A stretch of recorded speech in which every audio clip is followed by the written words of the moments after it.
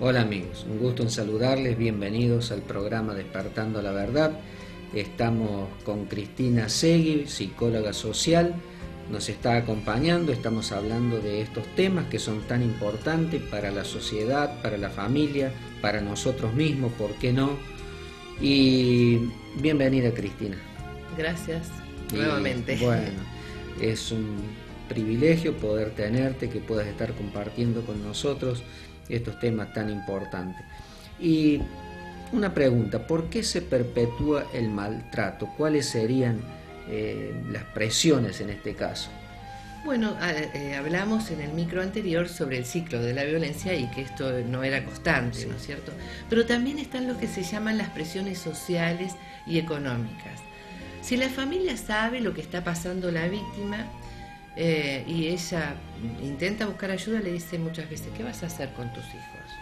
¿Quién los va a cuidar? ¿Quién va a querer cargar con hijos de otros si vos haces otra pareja? ¿Qué va a decir la gente?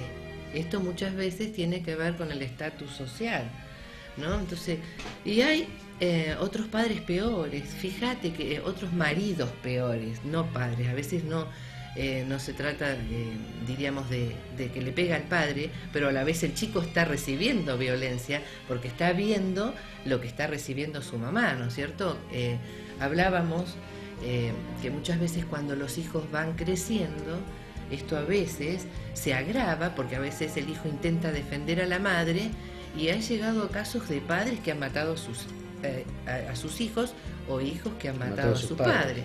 ¿no es cierto? Entonces, es decir, a veces dice, ay, fíjate que eh, es buen padre, pero ¿es buen marido? Em, eh, en el taller de prevención de la violencia del noviazgo, le explicaba a los chicos eh, el tema del aislamiento. las parejitas que sufren esta problemática, como dije que empiezan el noviazgo, lo primero que hacen es aislar. Aislar eh, eh, hay que tener mucho cuidado. Ustedes es una conducta observar por padres, por todo. Primero tienen muchos amigos, están juntos, pero cuando se ponen en pareja, lo primero que hacen es aislarse. Y a veces vemos a las parejitas solas. Eso lo hace siempre la persona violenta y la víctima que acepta esta condición. Em, en el matrimonio pasa así. Empieza que tu mamá, que tu papá, que tu tío, que tu abuela, todos tienen defectos, todos tienen la culpa, todos tienen eh, algo, diríamos que no, no lo aceptan.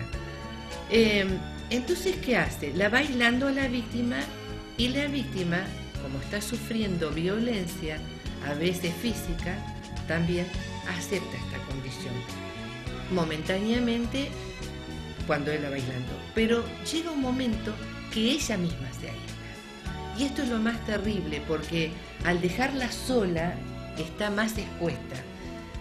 Y he visto lamentablemente con tristeza chicas de llevar un embarazo sola, mujeres de llevar un embarazo sola, aisladas porque es lo que ha, preparado él. No ha cambiado, esto empeora.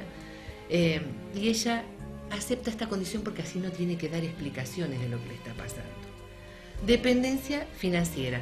Muchas veces la víctima no cuenta con recursos como para apartarse. Estamos hablando en este caso de la esposa, para sustentarse.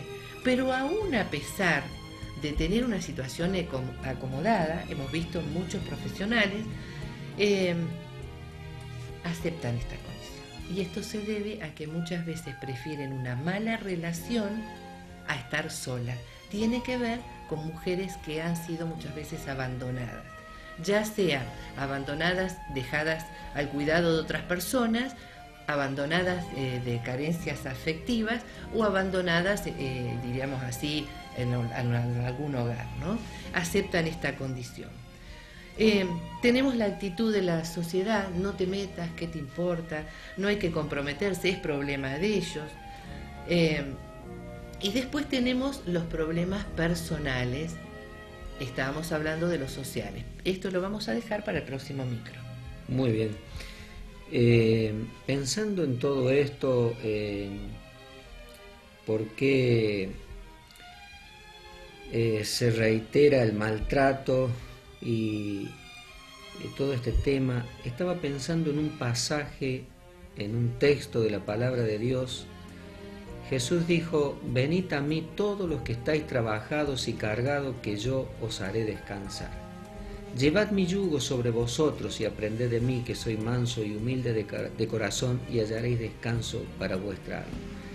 Tal vez usted está cansada de los reiterados maltratos, de, todo esto que tiene que ver eh, con esta cuestión del ciclo reiterativo, del ciclo de la violencia, como hablábamos en el programa anterior, y usted realmente está cansado de todo esto, no sabe cómo salir, no tiene esperanza, no tiene eh, paz en su alma, en su corazón, eh, siente eh, el abandono de las personas, de sus familiares.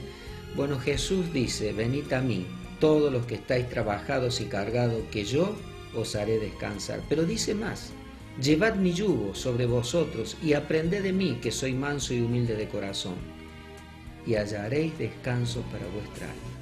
¿Quiere descanso usted? ¿Necesita el descanso espiritual? Seguramente eh, usted está atravesando por una situación difícil de depresión, de abandono, de toda esta situación. Vaya a Cristo. El que a mí viene, dijo Jesús, yo no le echo fuera. Hay una esperanza para usted. Acepte el regalo que Dios le ofrece. Dios ofrece en medio de un mundo turbulento paz. Dios ofrece en medio de toda esta situación una salida y esa salida se llama Jesucristo. Él dijo, yo soy el camino, yo soy la verdad, yo soy la vida y nadie viene al Padre sino por mí. Te invito para que en esta hora, allí donde tú estás, puedas inclinar tu cabeza, pedir perdón a Dios por tus pecados puedas decirle a Jesús que te limpie, que te lave con la sangre que Él derramó en la cruz, invitar a Jesús a entrar en tu corazón. El que a mí viene, yo no le echo fuera. Acepta a Jesús como tu Salvador personal. Y quiero ofrecerte este material, Palabras de Esperanza. Este material estará disponible en los estudios del canal que puedes pasar a retirar en forma totalmente gratuita. Por tu atención, muchísimas gracias y los números telefónicos y el mail están saliendo en pantalla. Que Dios te bendiga ricamente.